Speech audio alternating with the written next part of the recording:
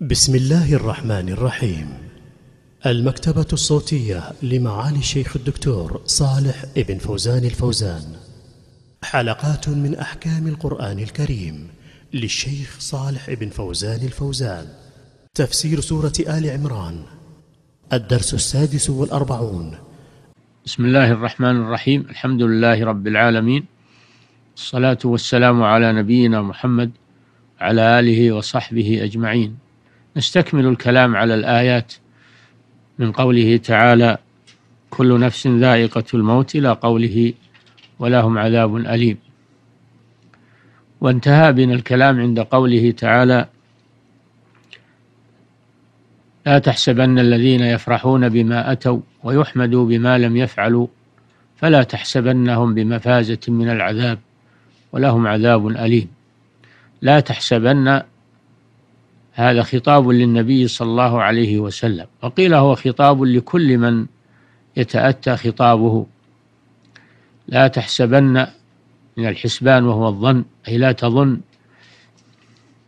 الذين يفرحون بما أتوا يفرحون بما أتوا من معاصي الله عز وجل والمخالفات ويغتبطون بذلك وكان الواجب عليهم العكس أنهم يندمون على ما فعلوا من الذنوب والمعاصي ولكنهم فرحوا بمعصية الله وفرحوا بالمخالفات وظنوا أن هذا من الظفر ومن إدراك المطلوب وأنهم نجحوا في عملهم هذا فهم يفرحون بما هم عليه من مخالفة الشرع ومن ارتكاب المعاصي ويظنون أنهم بذلك قد نجحوا وأنهم وأن هذا من فعل العقلاء. فالله جل وعلا ذمهم وقال لا تحسبن الذين يفرحون بما أتوا ويحبون أن يحمدوا بما لم يفعلوا. يحبون المدح والثناء من الناس على شيء لم يفعلوه فهم يحبون المدح والثناء من الناس والمدح والثناء على الحقيقة لا يكونان إلا على فعل حميد وفعل وسعي طيب. وأما المدح والثناء على فعل سيء أو على عدم الفعل فهذا فهذا ذم وهذا مذموم وهذا من سوء من نقص العقل. فالإنسان لا يتمدح بما ليس فيه. وقد جاء في الحديث أن الذي يحب أن يمدح بما ليس فيه كلابس ثوب ثوبي زور والعياذ بالله.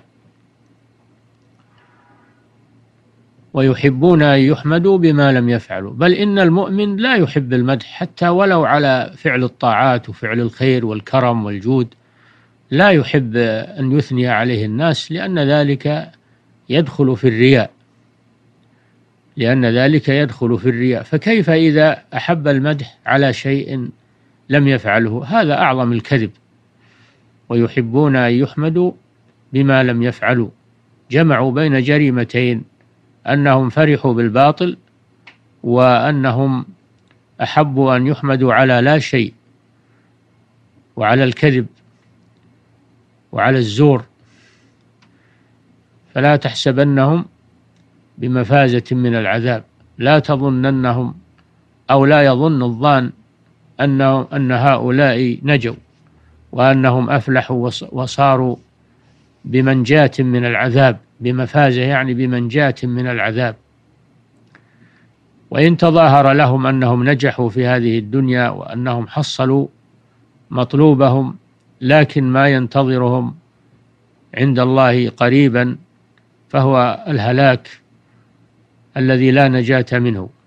فلا تحسبنهم كما قال تعالى ولا يحسبن الذين كفروا سبقوا إنهم لا يعجزون فلا تحسبنهم بمفازة من العذاب بل هم واقعون في العذاب وإن كانوا يظنون أنهم نجوا وأنهم آه، وأن خطتهم آه، نجحت كما عليه الكفار الآن من الكفر بالله والتطاول على العالم ويظنون أنهم فازوا وأنهم فاقوا الناس وأنهم ولكنهم في الواقع قد آه، قد وقعوا في في السفال والهوان عند الله سبحانه وتعالى وعما قريب سيلقون العذاب المهين. فلا تحسبنهم بمفازة من العذاب ولهم عذاب أليم. فهم لم ينجوا من عذاب الله وليس عذابا سهلا وإنما هو عذاب أليم مؤلم لهم يعني استحقوه بأعمالهم وجوزوا به على فعلهم وهو عذاب ملازم لهم. وباق وهم باقون مخلدون فيه فأين النجاة؟ وأين الفوز؟ وأين الفلاح الذي ظنوه؟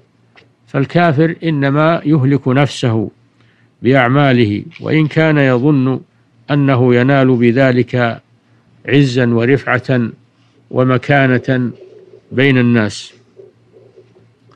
هذا وهذه الآيات تشتمل على فوائد عظيمة فلنتبين منها ما يسر الله جل وعلا. يؤخذ من هذه الآيات التذكير بالموت والاستعداد له وأن الإنسان لا يغفل عنه. كما قال صلى الله عليه وسلم تذكروا هادم اللذات الموت فإنكم لا تذكرونه في قليل إلا كثره ولا تذكرونه في كثير إلا قلله. فلا يغفل المسلم عن الموت بل يستعد له بكل ما يليق من الأعمال الصالحة ويتوب من الأعمال السيئة. فإن الموت هو الحد الفاصل للعمل كما قال صلى الله عليه وسلم إذا مات ابن آدم انقطع عمله إلا من ثلاث صدقة جارية أو علم انتفعوا به أو ولد صالح يدعو له. وأيضا عند الموت لا تقبل التوبة كما قال النبي صلى الله عليه وسلم إن العبد تقبل توبته ما لم يغرغر أي تبلغ روحه الغرغرة أي الحلقوم. الله جل وعلا يقول وليست التوبة للذين يعملون السيئات حتى إذا حضرهم الموت حتى إذا حضر أحدهم الموت قال إني تبت الآن. ثانيا يؤخذ من هذه الآيات تسلية المؤمنين بأن ما يفعله الكفار من مضايقتهم ومن التطاول عليهم أن هذا له نهاية قريبة بإذن الله سبحانه وتعالى. فإن الموت غاية كل حي وإن هذا المتطاول والمتجبر والمتكبر نهايته قريبة. وكم قسم الله من الجبابرة ومن الظلمة في إبان عنفوانهم وشدتهم وكبريائهم قسمهم الله سبحانه. وكذلك أخذ ربك إذا أخذ القرى وهي ظالمة إن أخذه أليم شديد. فهذا مما يسلي المؤمنين ويصبرهم على أذى أعدائهم وتطاولهم عليهم. نعم. والله تعالى أعلم وصلى الله وسلم على نبينا محمد وعلى آله وصحبه أجمعين.